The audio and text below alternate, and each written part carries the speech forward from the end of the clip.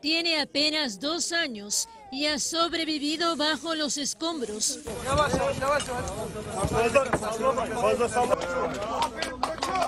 Como este pequeño de 12 años.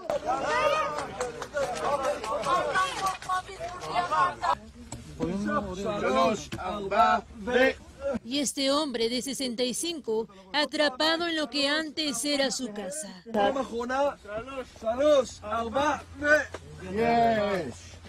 Sus héroes han sido los rescatistas israelíes que se encuentran en la provincia turca de Karamánmaras para cooperar con la búsqueda de víctimas y brindar asistencia médica tras los terremotos que golpearon Turquía y Siria.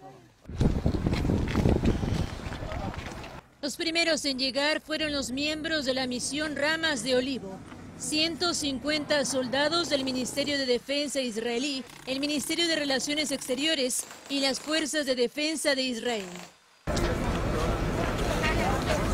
Poco después se sumaron 320 miembros de la Fuerza Aérea con equipos médicos.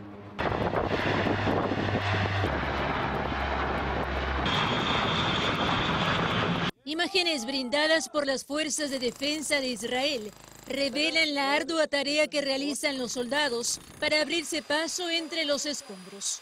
En honor al precepto del Talmud, que dice quien salva una vida salva al mundo entero, han logrado rescatar al menos 17 personas, desde niños hasta adultos. Israel es parte de los más de 45 países que se han sumado a la ola de solidaridad internacional por Siria y Turquía.